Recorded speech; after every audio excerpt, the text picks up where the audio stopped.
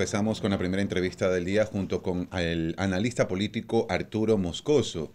Eh, para tratar sobre todas las eh, cosas el tema eh, del Consejo de la Judicatura que avanza ya con el concurso para conformar el Banco de Elegibles para Jueces. Arturo, buen día, bienvenido a Un Noticias.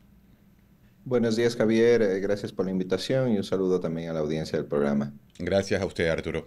El Pleno del Consejo de la Judicatura aprobó iniciar el concurso para conformar este banco eh, de elegibles para jueces. La institución detalló que requiere cubrir 586 vacantes de jueces en todo el Ecuador. Pero, ¿cómo ubicarlos y con qué presupuesto, Arturo? Lo escuchamos. Esa es justamente, creo, la pregunta que nos hacemos todos, ¿no? En un con un Estado que realmente está con las arcas públicas bastante afectadas, el, requerimiento de nuevos jueces ahora, porque luego vendrán, vendrá un requerimiento adicional cuando tengamos la conformación de jueces especializados en, derecho constitucional conforme a la consulta, eh, requiere muchos recursos. Y lamentablemente el país en este momento enfrenta un déficit fiscal altísimo. Eh, que va a afectar la posibilidad de, contratar más jueces, ¿no? Entonces, sí, hay que, hay que ver de dónde, de dónde se obtienen esos recursos para poder cubrir todas las vacantes que se requieren. No solo estamos seleccionando jueces en general para, las, para el sistema judicial, sino también jueces para la Corte Nacional de Justicia y, como decía antes, pues jueces para el tema de, las judicaturas especializadas en derecho constitucional, ¿no? Entonces, el gobierno tendrá pues que, resolver y, dar luces sobre, sobre de dónde va a salir este presupuesto, eh, porque es importantísimo que, la, que se tome en serio este concurso, que sea un concurso bueno, eficiente, ojalá, ojalá que este Consejo de la Judicatura finalmente sí lo pueda hacer. Eh, se ha nombrado ya un, cuerpo de, abogados especializados para, eh, para el comité de selección. Esperamos que esto funcione bien y pues que tengamos jueces realmente probos y preparados, ¿no? Que es lo, más importante. Ahora, eh, Arturo, ¿en qué afectará o eh, influirá un 2025 cargado de elecciones generales en cuanto a este tema, ¿no? Y lo menciono por eh, precisamente saber cómo se va a, financiar, cómo se va a poder ejecutar este concurso de jueces y sobre todo también, y usted lo ha mencionado, en derecho constitucional, algo que aprobó la consulta popular y referéndum pasado y que tiene que ejecutarse. Bueno, habrá que ver qué, cómo actúa el gobierno. O sea, la, Javier, el tema de la consulta es importantísimo em, porque determina un cambio determinante, valga la redundancia, determinante en cómo se hace justicia en relación a, las, a los famosos eh, recursos constitucionales con los que contamos los ciudadanos para, para hacer valer nuestros derechos. ¿Cómo se va a implementar eso? No lo tenemos claro. Y por otro lado, em, necesitamos una selección de jueces em, que sea realmente una selección de jueces preparados, sobre todo, principalmente, obviamente, que no sean corruptos, Hemos tenido varios escándalos de penetración del narcotráfico y de la, y de la delincuencia organizada en, las cortes eh, y en los juzgados nacionales. Em, y, pero sobre todo, Javier, lo que, lo, lo, que digo, ¿no? Jueces preparados porque cuando uno es abogado y litiga, se encuentra muchas veces con jueces y juezas que no tienen idea de la aplicación de la ley, ¿no? Y eso es lamentable. Em, y realmente a, a, los ciudadanos nos dejan en indefensión eh, cuando, cuando esto sucede y, es importante, ¿no? Es importante eh, tener en cuenta eso. De cara a las elecciones, evidentemente, creo que lamentablemente la justicia no es tan relevante eh, el, abordarla como es la seguridad, por ejemplo, ¿no? Entonces, esa es una preocupación que surge que podría quedar de lado el tema de, la, de, de darle los recursos suficientes a la justicia para primar un tema que es mucho más rentable políticamente como es el de la seguridad, ¿no? Entonces probablemente no haya garantías del caso para que sea financiado de la manera más correcta, Arturo. Por otro lado, ¿cómo, cómo hacer para que no se repita eh, precisamente esto, ¿no? Em, la corrupción eh, inmiscuida, involucrada dentro del sistema judicial de este país? ¿Cómo se va a poder depurar y sobre todo para mantenerlo em, de una manera constante, ¿no? que cambie esta situación en el país y que la ciudadanía vuelva a confiar en este sistema. Bueno, eso está bien difícil, Javier, porque la, confianza en la, justicia, de acuerdo a los datos del Barómetro de las Américas, por ejemplo, está muy, muy baja. Eh, y pues se necesitará una demostración a los ciudadanos de que ya se puede confiar en la justicia, pero eso depende también de cómo empiece a funcionar, eh, cómo empiezan a funcionar los, los, juzgados y las cortes eh, en relación a lo, que, a lo que tengan que resolver, ¿no? Eh, y ahí viene el tema de la penetración, como decía antes, del narcotráfico y del crimen transnacional, que lamentablemente tienen el poder suficiente o por un lado para corromper o por otro lado, para amedrentar a los jueces.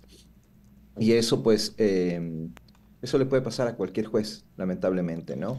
Entonces creo que además de la, de la necesaria selección de personas probas, sobre todo de personas que han demostrado a lo largo de su carrera eh, una, una, rigidez moral eh, lo suficientemente eh, fuerte como para ser un juez, la protección que se tiene que darse a estas personas para que no sean víctimas de, de, amedrentamiento o de, o de, amenazas o, por último, de, compra a fin de, obtener fallos favorables a, a sectores criminales, ¿no?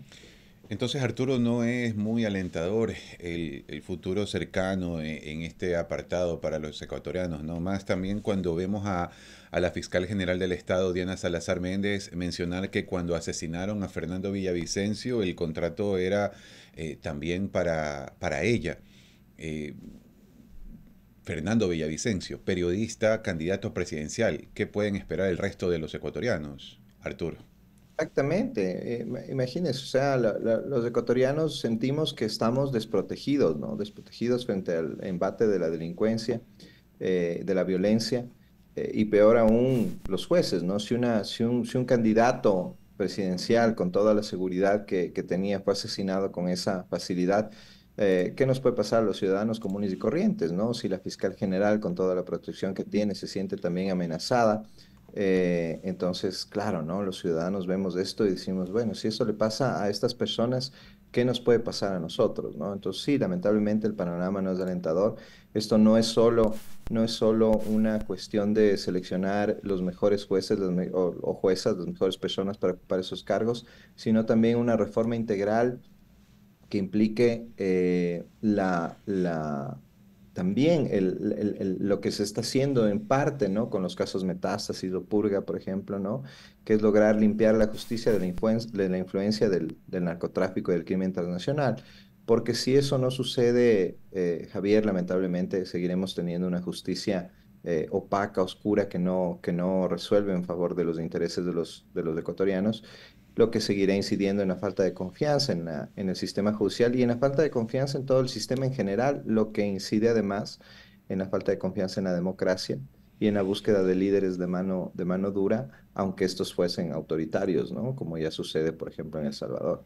Ahora, em, varios vocales de la judicatura, entre esos yo, Solanda Goyes, eh, eh, estimado Arturo, ha mencionado que los expertos tienen la facultad de revisar, evaluar y calificar las etapas de méritos y oposición para la selección adecuada de los postulantes al concurso.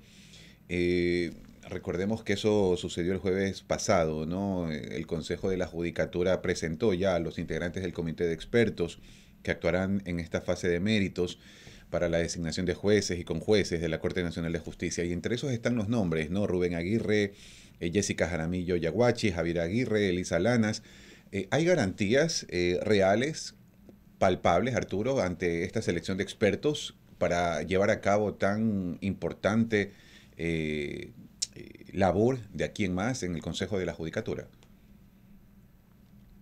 Yo creería que sí, yo creo que quienes conforman el comité de expertos, sin poner mis manos al fuego por nadie, evidentemente, es gente proba, preparada, a, quienes incluso a, algunos conozco personalmente. Em, esperemos que ese comité de expertos funcione como debe funcionar. Eh, el resto de comisiones que se han integrado, lamentablemente no conozco casi nadie, no sé, no sé quiénes sean, pero esperemos que el, que el, que el Consejo de la Judicatura haya hecho un trabajo serio seleccionando a estas personas para garantizar que, los, que los, las personas que sean seleccionadas como jueces y juezas pues sean las mejores, ¿no? Eh, esperemos que sí, creo que, como, como decía, creo que los nombres que están ahí presentes, algunos de los nombres, eh, nos, nos permiten pensar que, que, así va a ser, ¿no?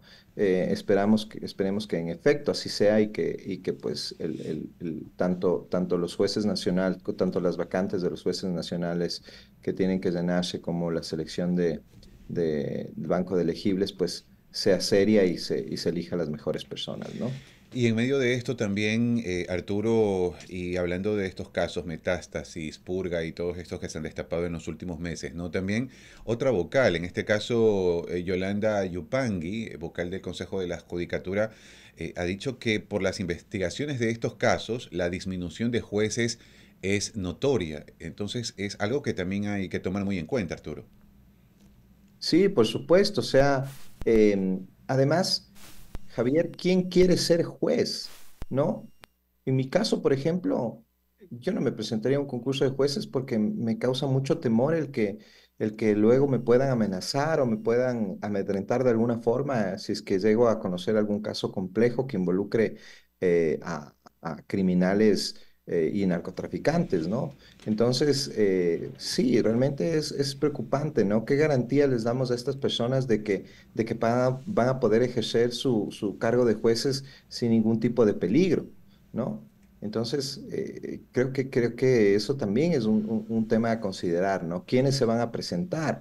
¿Realmente se van a presentar las mejores personas o las mejores personas van a quedar de lado por el miedo que les puede causar el ser un juez dentro de un sistema judicial tan corrupto, eh, tan penetrado por el crimen transnacional y en donde no se tiene garantías de, de, de seguridad para nadie, ¿no?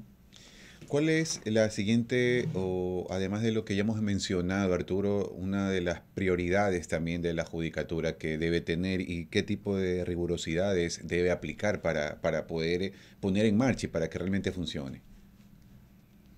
Bueno, esperemos que la, el Consejo de la Judicatura eh, comience a una, a, en una autopensarse a sí mismo eh, como un organismo realmente administrativo y de, y, de, control de aplicación de la justicia y no un organismo de presión a los jueces o de incluso extorsión a ciertos jueces para tales o cuales fallos, ¿no? Como, viene ocurriendo desde lamentablemente la metida en la mano en la justicia que, reformó el sistema de justicia en el país en 2011 y que le permite al Consejo de la Judicatura tener tanto poder, ¿no? Las personas que están ahí creo yo que por ahora al menos están haciendo un trabajo eh, eficiente y comprometido con la justicia. Esperemos que, que siga así. Y, el gran reto que, que, que, decíamos al principio, Javier, que se viene es pues del nombramiento de los jueces especializados en justicia constitucional, ¿no? que eso también es un reto importantísimo porque en manos de esos jueces van a estar eh, temas muy complicados, ¿no? Que precisamente tendremos eh, nuevas oportunidades para poder dialogar y analizar, sobre todo, Arturo, esta, este concurso, este avance para conformar el Banco de Elegibles para Jueces. Muchas gracias por la entrevista. Gracias, Javier. Encantado a las órdenes. Hemos estado con Arturo Moscoso, analista político, hablando sobre los procesos para conformar el Banco de Elegibles a jueces desde el Consejo de la Judicatura.